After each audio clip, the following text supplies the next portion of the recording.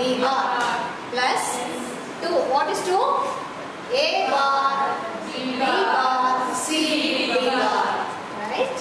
What is 8? A, B bar, C bar, B bar. What is 10?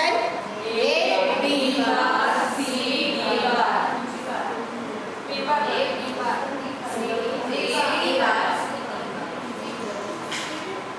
Now how did you group them? What is common here between these two? Right.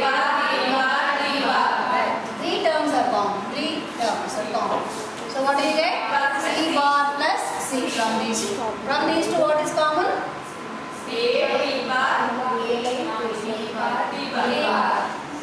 So what do you get here? C bar plus C.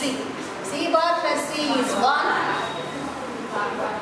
What do you get? A bar, B bar, D bar plus A, B bar, D bar. Once again, A bar plus A, B bar, D bar is equal to B bar, D bar. You must always write since A plus A bar is 1. Here you write since C plus C bar is